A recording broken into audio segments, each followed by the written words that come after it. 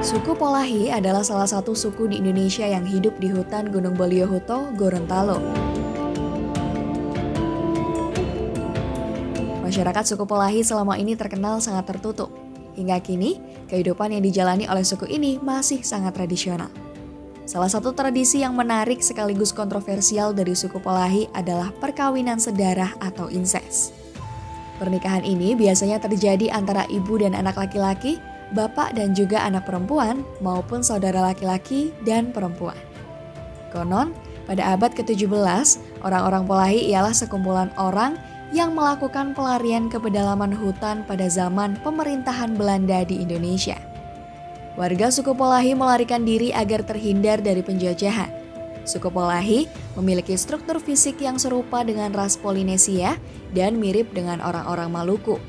Orang Polahi memiliki tubuh yang kekar dan memiliki rambut yang berjenis ikal atau keriting.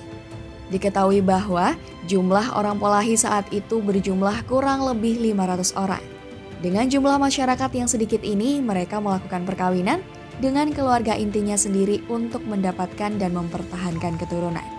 Hal inilah yang menjadi tradisi turun-temurun bagi warga suku Polahi hingga kini. Dalam dunia medis, anak hasil dari perkawinan sedarah diduga akan mengalami beberapa kelainan baik secara fisik maupun mental. Namun anehnya, hal ini belum pernah dijumpai pada suku Polahi.